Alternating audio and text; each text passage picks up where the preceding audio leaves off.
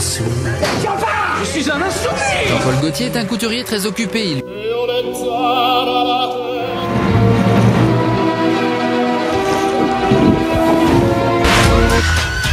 Vous avez vos billets?